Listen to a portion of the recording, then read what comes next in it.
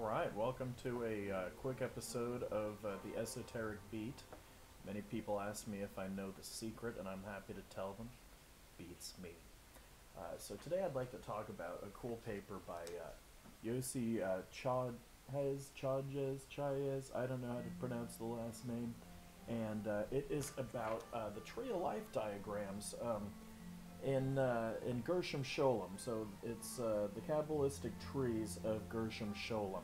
And if you're interested in um, the uh, the Ilanot, as they're as they're called in Hebrew, um, which is a, uh, a, a metonym for the uh, the Kabbalistic tree of life, which represents a sort of uh, divine emanation, a kind of a, a Gnostic or Neoplatonist comparable uh, theology and, and metaphysics and, and, cosmology and everything. Um, so, you know, I'll put up on the screen here is uh, the, the Great Parchment, right, which is uh, one of those manuscripts where we see just uh, some remarkable uh, creativity in the production of a Tree of Life diagram manuscript. Um, and uh, the, the funny thing is that Gershom Scholem, who is one of the uh, deans of uh, Kabbalah studies, in the 20th century and made you know so many important contributions and sort of shaped the field.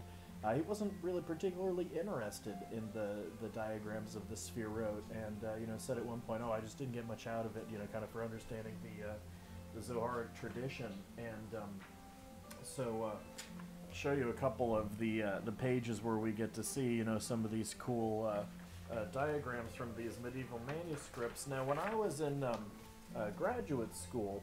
Uh, I would I would have loved to, to, you know learn about these, but uh, not much uh, had really been done. Uh, not much uh, work had really been done on these things, uh, and you know it turns out um, they're they're actually kind of more important than than Scholem's.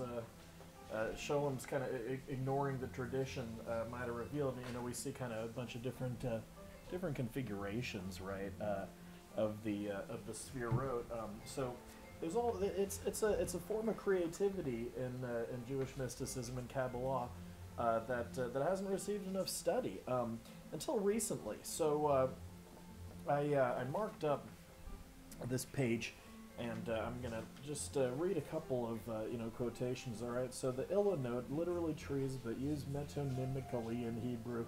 It's a good ten dollar word metonym, right? to refer to diagrammatic cosmological um, parchments.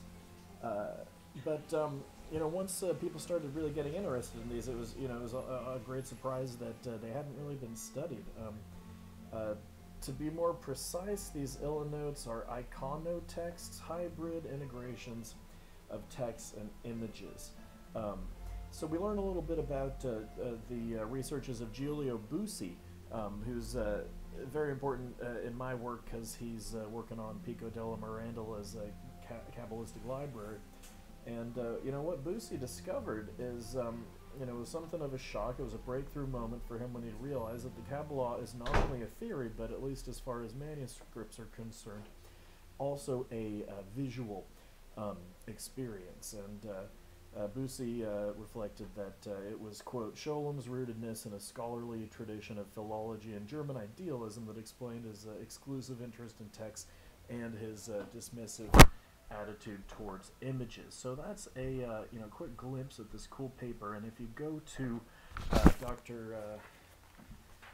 Dr. Jeffrey or Yossi's um, site on academia.edu edu jh uh, chajes chajes uh, c h a j e s uh, on his academia page. Uh, there's all kinds of uh, great research on the tree of life, the Sefirot, and their uh, their visual uh, forms in these manuscripts. Um, thanks for coming to my little talk, and uh, be curious.